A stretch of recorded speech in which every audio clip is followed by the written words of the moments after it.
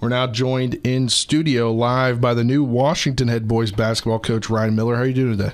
I'm doing well, guys. Thanks for having me. Thanks for coming on and joining us. And uh, this process for you has been, I think, about a month long from what I've kind of seen from the school board. Uh, and then Monday night, it came to fruition as you uh, step up from the middle school to the high school ranks. Yes, uh, roughly, probably close to a month since I interviewed, and then um, the school board process. Of course, spring break was in there, so it delayed it a little bit. But uh, Monday night it was official, probably right around six forty-five, seven o'clock. And, and coach, go ahead. You go. I was going to probably ask something. Let okay. me see the mouse though. Um, and coach, you know, you go from uh, being the middle school coach at Wildwood to now the head coach at Washington. Uh, what do you think the transition will be like from uh, middle school to uh, varsity? Uh, it's obviously a big jump, but and I talked about this the other night a little bit. But it's something coaching basketball is coaching basketball. Uh, we tried to do the, a lot of stuff at Wildwood, like a high school program, um, kind of like a small college program. You know, we uh, we did scouting reports. We scouted people. And, you know, not all the coaches at that level do it, but it's the only way I know how to do it, and that's how I was taught. So uh, we'll we'll bring that to the high school level, and uh, we'll just expand it a little bit. Have more coaches that can get out and uh, you know filling that staff out with people that are experienced. And so I, I just think it's again coaching basketball is coaching basketball. We did a lot of nice things at Wildwood, and just you know got to work a little harder, be a little bit more busy, but it, will translate.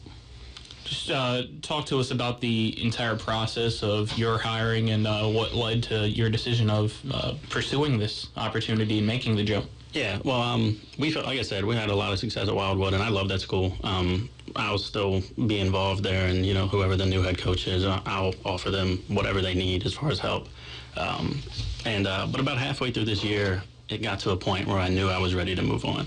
And you know, a lot of people have asked me, you know, you have this winning streak at Wildwood, why are you leaving? And I'm a guy that likes to feel challenged. So when it stopped becoming so challenging for me, and I didn't feel like I had to maybe do the things that I needed to, and on a nightly basis, um, I knew it was time to move on. And um, again, it, not that I stopped having fun. Uh, winning is always fun, but uh, it, it was one of those things where I wanted to be more challenged and I wanted to go a little bit farther. And then when I found out that Washington was opening up, it was a chance for me to just fulfill a dream. When I started in 2013 at Spring Mills High School when it opened, um, I was a young guy. I was only 22 years old, and immediately knew that one day I wanted to do this.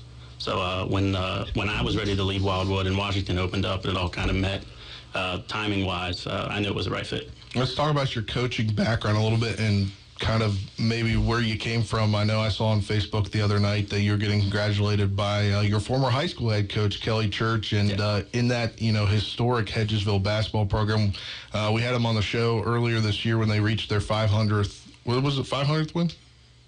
I believe so. Yeah. Yeah, and uh, you know, With just 25 years. Yeah, just the amount of kind of what his coaching tree has kind of evolved to, and now you're one of those guys essentially. Yeah, um, he's been awesome through the whole process. Talking to him down at the state tournament when rumors were kind of flying, and uh, he he was great and uh, offered me his advice on things. Um, so that was really good. And uh, but that's kind of where I learned how to the my style, right? And uh, not necessarily on the floor, but just how to do things off the floor. Um, I was a guy when I played for him that was never the most physically gifted.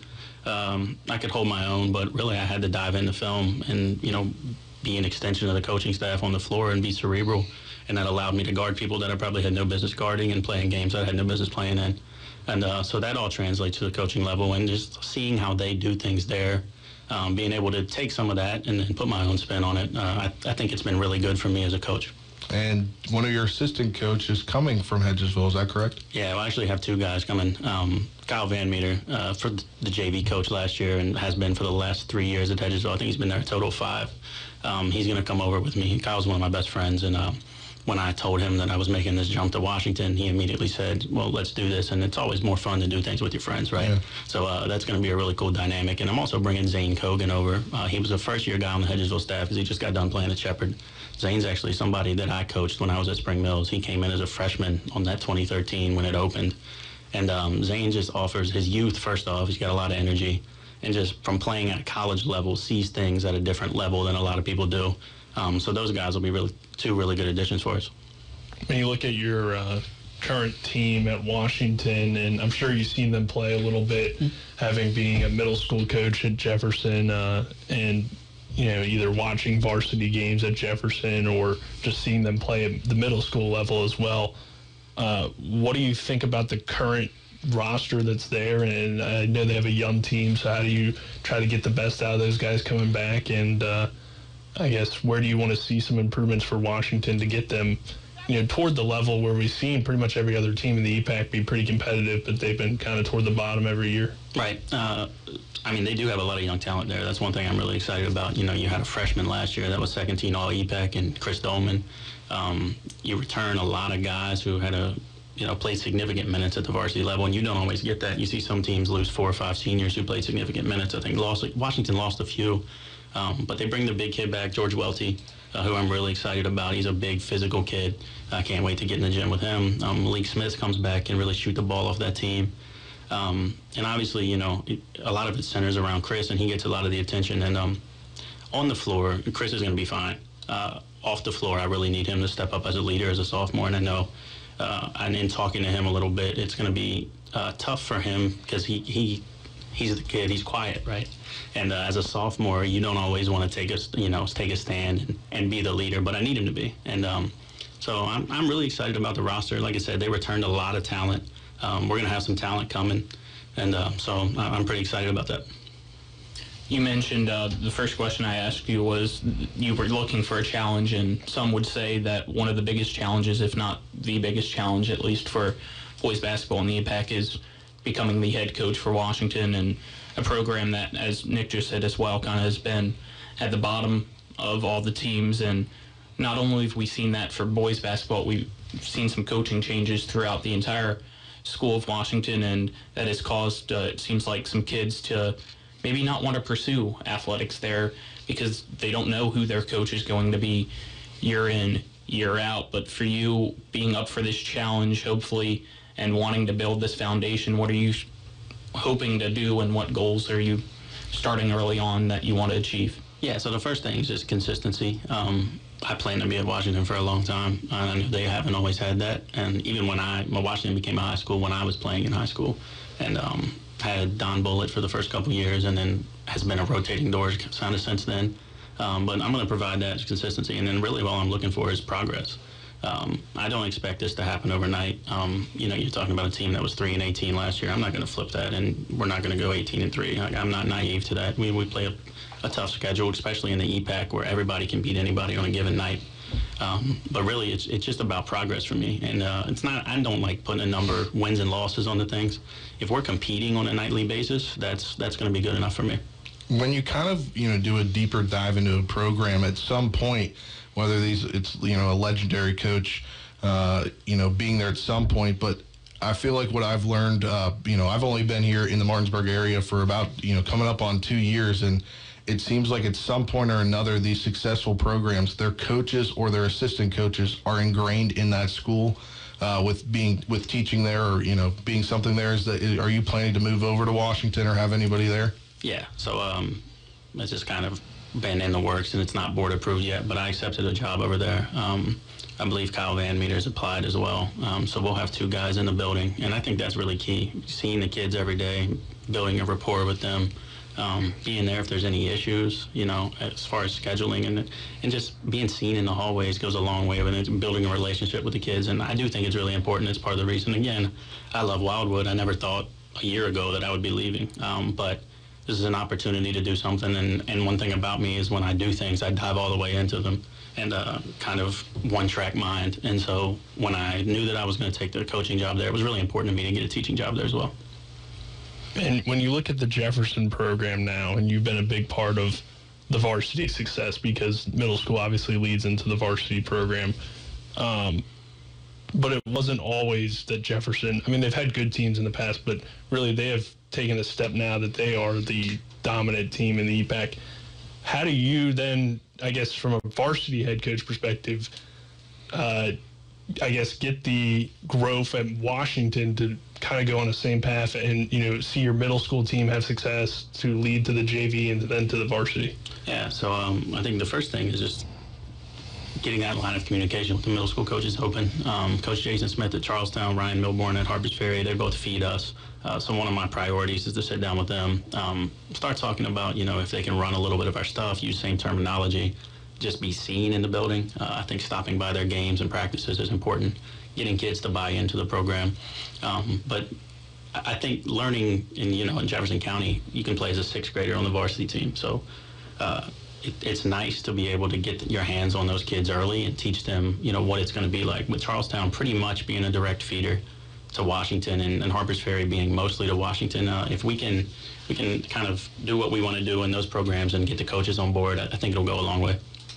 Just tell us a little bit more about yourself. Were you someone that always wanted to go into coaching when you were younger, or did that come later on in life? So looking back, I think so. Um, if you would have told me when I was graduating high school that I was going to be a coach, I would have never thought so. Um, and then, but looking back and how it was, you know, I kind of I was a point guard, and again, wasn't the most athletic, wasn't the most physically gifted guy. So I kind of had to be that coach on the floor and see things at a different level and be a couple plays ahead. So uh, I think that's all translated. Um, when I got a phone call from Joel Silver when he was the head coach at Spring Mills, uh, really I was coming on to just be a practice player because I was still young enough to run up and down with the guys and you know was still playing all the time. And very quickly I realized that this is what I wanted to do. So I just kept taking on a bigger and bigger role. And um, so I would say that's when I really realized that I wanted to do this.